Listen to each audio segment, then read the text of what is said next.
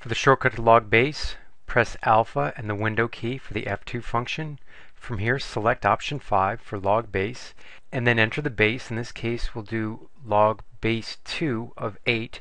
To enter the 8 scroll over with the right arrow key and press 8 and enter. So log base 2 8 is 3.